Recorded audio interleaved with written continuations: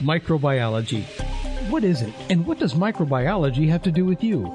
This field of study is a key part of our world, from human and animal medicine to understanding the environment. On this show, Minerva Garcia, a practicing microbiologist, swings open the door to her lab to welcome you into this intriguing world. Now, let's meet Minerva, the microbiologist. Welcome all to my show. Meet Minerva, the microbiologist. My name is Minerva A. Garcia. I'm currently the Social Director Microbiology at Jacobi Medical Center, New York City Health and Hospitals Corporation.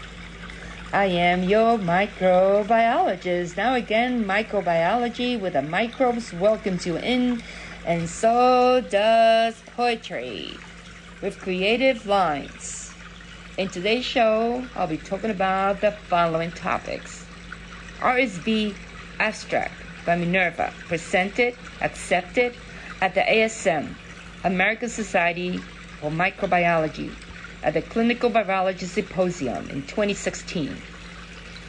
Technologist Eve Queen interviews Minerva. Facts about the Delta variant. Poems tomorrow. So let's get started. RSV abstract by Minerva. Where I stress in my abstract that respiratory syncytial virus known as RSV, which is a pediatric virus, usually in the winter months, will jump to adult population. Via hosts that will be opportunistic, such as immunocompromised, immunosuppressed, diabetic, lupus, elderly population, and patients at risk with debilitating health issues. And this will jump from pediatric population to the adult population. Today, we are seeing that the coronavirus, known today that we know as COVID 19, had jumped from animal to humans. And this is known term as zoonotic. So when we saw RSV pediatric virus jumping to adult, we know that also other viruses could occur like Bordetella pertussis, which is a pediatric virus. This could also jump to adult populations and the weakened populations with immunosuppressed, immunocompromised system. Today, we're witnessing RSV cases that usually not seen during the warm months. We know that RSV is a virus that strikes in the cold. It's a seasonal virus. So now Eve will interview me. Hi Minerva, how are you today? Hi, how are you? Good. Thanks for having me on your show. Sure. All right. Welcome to the show. So you've been talking about your abstract on RSV. Right. So what year did you write this? 2014? Um, no, actually, it was actually in. I did write into it to 2014, mm-hmm. but it was accepted in various um, uh, articles and uh, for symposium for presentation, and actually was accepted at the ASM uh, Virology Symposium. Um, so that was pretty happy uh, with this um, triumph. Wow, ASM, what an accomplishment! Thank you. So, why did you decide to research the respiratory syncytial virus at this time? Well, for me, I always loved research, and I started in college doing research, and I'm also very interested and um, very intuitive when it comes to research. I think learning starts with research, and that's how we can move science forward and help patients in the world. Um, imagine if we would have a research today, um, we won't have um, the COVID 19 vaccine, which is helping so many people all over the world. Um, so right now, I can say that uh, because um, you know I have such a strong, strong um, you know interest in research, giving that um, giving away my HIPAA, uh, um, by, you know that I do have as a as a patient, I know that I'm a diabetic, diabetic patient. I became very concerned with the respiratory symptom that I experienced in uh, one of the cases that I had during the winter uh, seasons. Um, and I did a respiratory panel for other viruses, and especially the flu, is all negative. So I became concerned and theorized that most likely um, my hypothesis was that could be an RSV. Um, RSV is, also, is only seen uh, in pediatric population. So I really hypothesized that um, being adult and being immunocompromised practically with being diabetic, that um, most likely I did have RSV. I didn't test at that time, but it just happened that I got a case of an elderly population, elderly uh, population, which was a, a male, and to my surprise, he was positive for RSV, and I proved my hypothesis was conclusive with my theory. So th- this was really an excellent way for me to prove that. So I hypothesized that this virus in a pediatric population um, will jump to other population meaning adult. Also, patients with immunocompromised and suppressed immune system will become opportunists. Okay. So are we seeing more RSV cases during the summer now? Is that what you're saying? Yes, I am saying that because um, actually, um, since RSV is usually um, you know presented in the winter season because it likes the cold, we are seeing that this summer, since we didn't have RSV in the winter, we have now this population of pediatric cases now seen in the summer, which is unusual. So this virus that is usually in the winter is now behaving in the summer as a winter virus. So it's almost like understanding that you have a virus that has jumped from animal to human. So we are seeing a virus that's usually seasonal in the winter that now is jumping to the summer. And to me, this is very interesting. Now, I did hypothesize that that could have, that will happen, but I didn't want to put that in my paper because most people would say that can never happen. And we see in the reality of this has happened and the strength of a virus, how it's able to mutate, adapt in order to survive and strive. So we're kind of comparing this RSV virus adapting to certain opportunistic situations to how the COVID 19 virus is reacting now with the two variants as well. Yes, you can say that because um, the whole goal and the whole purpose of a virus is to adapt, mutate, and make more of itself through replication, RNA. And um, a virus is very, very lethal and very potent because they're able to reproduce. Think about cloning, you know? Um, so if you could understand the concept of cloning, so you could you could really think the virus how it replicates, and it replicates very very rapidly. So knowing what you know now about RSV after doing your abstract, when you first heard about this new virus emerging from Wuhan, China in 2020, what were your first thoughts? Well, the first thing that I thought to my mind is, well, guess what? It's going to come to the United States and it's going to go globally because of transportation.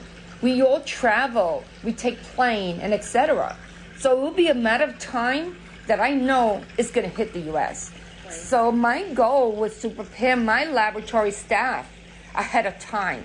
But I was ahead of my my goal because I already had implemented policy and procedures that my staff were equipped to handle any crisis, especially COVID 19.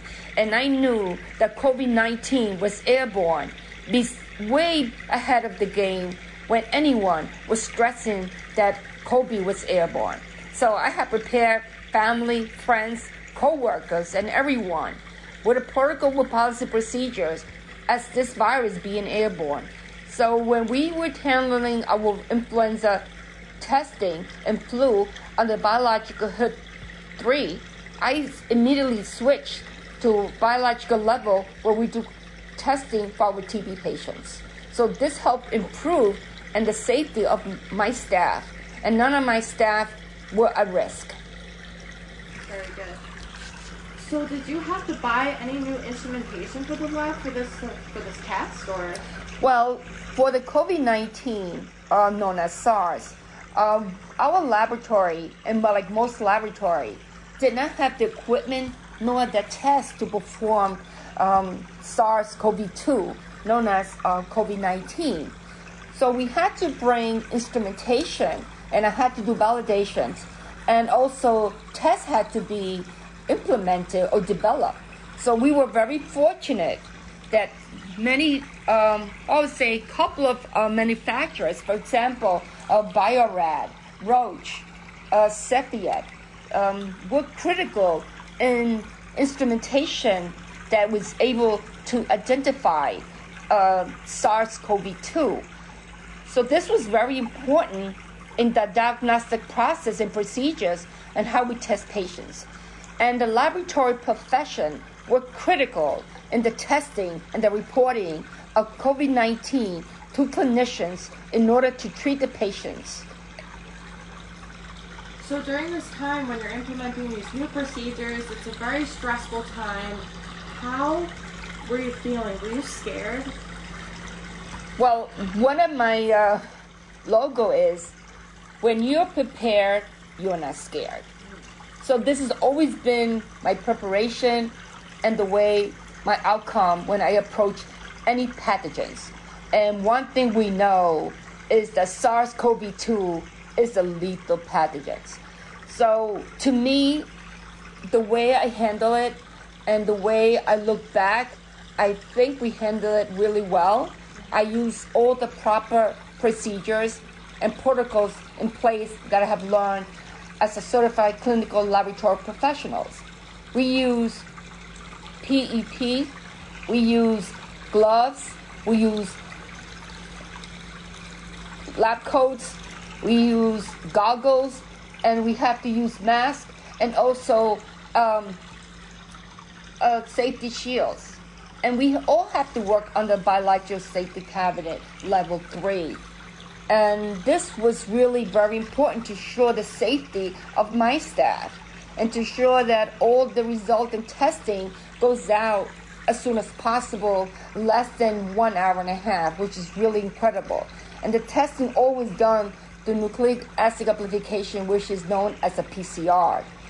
Um, so this was very important in handling this crisis.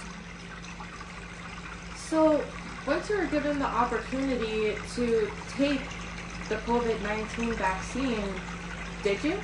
Yes, I did. Actually, I was the first of my staff to get a COVID 19 during that week. And I actually was really happy because I, after that I was able to meet our CEO Chris Mastromano, and he really came and applaud all those employees who came in and took the chance without being afraid and to be exemplary for the staff. And today I'm a Vax champ for the New York City Health Hospital Corporation at Jacobi Medical Center. I encourage all my staff, which they follow my example, they all got vaccinated. Also, family and friends and everybody, they realize that how important this is. And I was an example, and look at me, I'm fine. And today I'm vaccinated. I encourage everybody to get the word out and please get the vaccine because it will save your life, your family, your friends, and also will protect you and other one from everybody that if you get vaccinated, you will not have this lethal virus in you. You will pull through, and if you get, you will not be hospitalized. You'll make it because the this vaccine that we have today is really effective against the variant. Um, regardless that you're vaccinated, there's always chance that you will come down with a variant strain, but chances are it would not be as lethal as if you are not um, um, unvaccinated. So everyone who's vaccinated, you have to know that it's so important for you to continue with the idea and tell everybody that the only way to go is to be vaccinated to protect everyone, especially the elderly, the immunosuppressed, the immunocompromised, any patient who has been o- o- organ who's accepted organs, um, especially any children under 12 who has been vaccinated. They're all at risk. So they're calling this new variant the Delta variant. Where did this variant originate? Well, th- this um, Delta originated from from India, and uh, one of the problems that we see in India is that um, you know they they're lacking so much of medicine. They they um, they don't even have so many supplies that is needed, and the population